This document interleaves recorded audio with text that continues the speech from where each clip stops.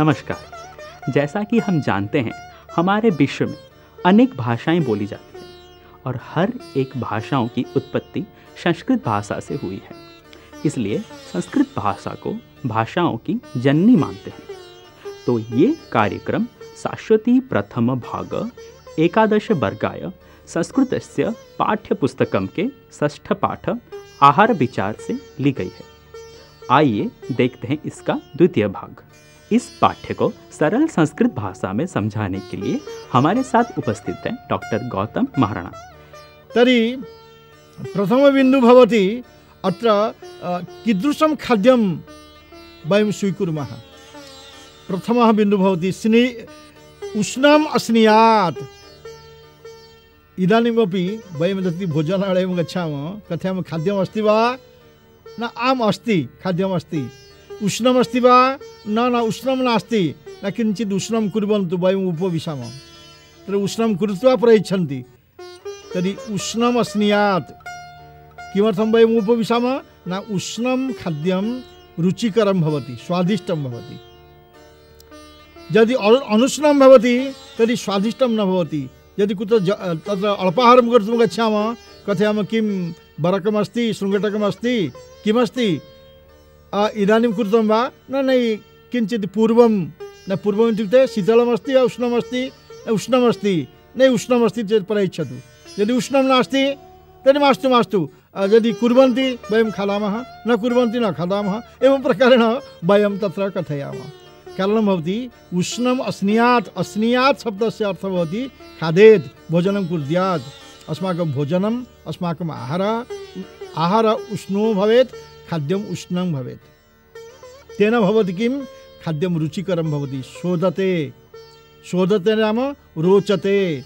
रोचते नाम रुचिकरं भवति। खाद्यं रोचते। खाद्यं रुचिकरं भवति। पुनः स्वास्थ्याय हितकरं भवति।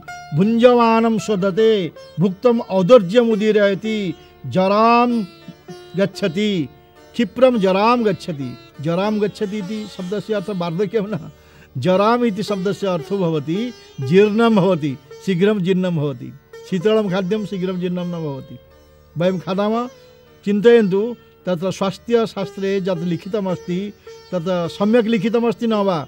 प्राचीनयुगे, प्राचीनकाले तदानीं डाक्तराः, द्राक् रोगात् तारयन्ति ते डाक्तराः, यत् आङ्ग्लभाषया डाक्टर् इति उच्यते। संस्कृते वैद्याः इति कथ्यते। तत्र तस्मिन् समये इदानीन्तन यथा द्राक्ताराः सन्ति, तदानीं नासन् तथापि अस्माकं स्वास्थ्यविज्ञानम् आयुर्विज्ञानं कथमासीत्? अस्मात् अनुमीयते। उष्णम् अस्नियात् उष्णभोजनं कुर्यात्, अनेन जरां गच्छति, क्षिप्रं जरां गच्छति, जीर्णं भवति। अस्माकं शरीरे रोगस्य कृते तत्र यानि तत्त्वानि सन्ति, तानि निस्सारयति, अर्थात् रोगान् नाशयति। यदि उष्णं भोजनं कुर्मः, रोगः शरीरे न प्रविशति। अतः प्रथमबिन्दुः कथ्यते, सर्वदा उष्णं तत्र भोजनं कुर्यात्।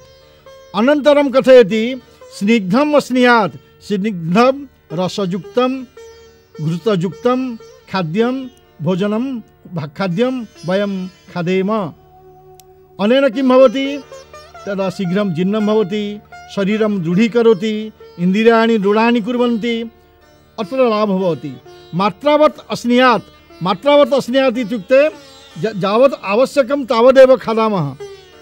यावत् आवश्यकं तावत् खादामः, अधिकं न खादामः। तेन रोगाः जायन्ते, शरीरम् अस्वस्थं भवति। जीर्णे अस्नेयात् यदा जीर्णं भवति खादामः। उत्तमं खाद्यं लभ्यते और खादामः। खाद्यं जीर्णं नास्ति। यदि जीर्णं नास्ति, पुनः खादामः। पुनः किं भवति? तेन रोगाः प्रविशन्ति, स्वास्थ्यं न तिष्ठति, शरीरं जीर्णं भवति। वीर्याविरुद्धम् अस्नियात् वीर्यं यदि अधिकं भवति, तर्हि इन्द्रियाणि जेतुं वयं न शक्नुमः। अर्थात् यावत् आवश्यकं वीर्याविरुद्धम् अस्नियात् इष्टे देशे अस्नियात्।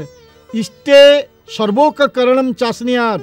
इष्टे इत्युक्ते अस्माकम् इच्छा अस्ति। यत्र कुत्रापि भोजनं न कुर्मः, भोजनस्य कृते तत्र सम्यक् स्थानम् आवश्यकं निर्दिष्टं स्थानम् आवश्यकं भोजनस्य कृते यानि साधनानि आवश्यकानि, तत्र तानि न वा, तद्दृष्ट्या भोजनं कुर्यात्। इष्टे देशे इष्ट सर्वोपकरणं च स्नेयात् नाति द्रुतम् अस्नेयात् शीघ्रं शीघ्रं न भोक्तव्यं शीघ्रं शीघ्रं यदि भोजनं कुर्मः यदि कुर्मः तर्हि खाद्यं जीर्णं न भवति, तेन रोगाः जायन्ते, शरीरम् असुस्थं भवति। नाति विलम्बितम् अस्नेयात्। इत्युक्ते उपविश्य शनैः शनैः आलपं कुर्मः, खाद्यं खादामः, एवं चेत् शरीरमपि असुस्थं भवति। अतः नाति विलम्बितम् अस्नेयात्। जल्पन्, हसन्, तन्मना न भूत्वा न भोक्तव्यम्। इत्युक्ते भोजनसमये वार्तालापः न करणीय हसन हसन भोजनं न कुर्यात् भोजन समय भोजन समय कदापि न हसेत। एवं प्रकारेण नियमान् पालयित्वा यदि भोजनं कुर्मः, आहारं स्वीकुर्मः, तेन अस्माकं शरीरं सुस्थं भवेत्, स्वास्थ्यं सम्यक् तिष्ठेत्, अन्यथा न। अत्र मात्रावत् इति पदस्य व्याख्यानं कथं भवति? मात्रा वतु प्रत्यये मात्रावत् भवति, अर्थात् यावत् आवश्यकं क्षिप्रं जरां गच्छति क्षिप्रम् आशु। त्वरया शीघ्रं जरां गच्छति जीर्णं भवति। औदर्यम् उदर इति, उदर प्लस यत् अण औदर्यम् अर्थात् उदरे भव। उदरे वायुदोषः यदि भवति, अग्निदोषः भवति, तान् दोषान् नाशयति। तर्हि इदानीं कथयन्तु। आहार विचार विषयस्य लेखक कः चरक वैज्ञानिकचरकः आहार विचार विषयस्य लेखकः। आहारस्य विधानानि कानि? आहारस्य अष्टविधानानि सन्ति। यथा शीघ्रम् अस्नियात्, उष्णम् अस्नियात्, जीर्णे अस्नियात्, नातिदृतम् अस्नियात् इति ये नियमाः प्राचीनकाले, अस्माकं ऋषयः, मुनयः यान् नियमान् कारितवन्तः तेन प्रकारेण यदि वयं चलामः, तर्हि अस्माकं स्वास्थ्यं सम्यक् भवेत्, अस्माकं राष्ट्रमपि समीचीनं भवत्, भवेत् इति एव अस्माकं विश्वासः अस्ति। विषयं पठित्वा केवलं पठनेन लाभः नास्ति, शास्त्राणि अधीत्यापि भवन्ति मूर्खा। इत्युक्ते शास्त्राणाम् अध्ययनं कृत्वा अपि जनाः मूर्खा भवन्ति। जस्तु क्रियवान् पुरुषः स विद्वान्। ज करोति स विद्वान् भवति। सुचिन्तितम् औषधीनां न नाममात्रेण करोति आरोग्यम्। औषधीनां नामस्मरणेन तत्र रोगाः न गच्छन्ति, आरोग्यं न करोति, शिरसि वेदना भवति, तदर्थम् औषधं भोक्तव्यमस्ति। अतः शास्त्राणि पठित्वा तदनुसारं यदि वयं कार्, कर्म कुर्मः, तर्हि सर्वे सुस्था भवामः, राष्ट्रमपि सुस्थं भवेत्। जयतु संस्कृतं जयतु भारतं नमो नमः। ये था आहार विचार का दूसरा भाग। अगले कार्यक्रम में हम ऐसे ही कुछ अध्याय और लेके आएँगे। तब तक के लिए आज्ञा दीजिए, नमस्कार।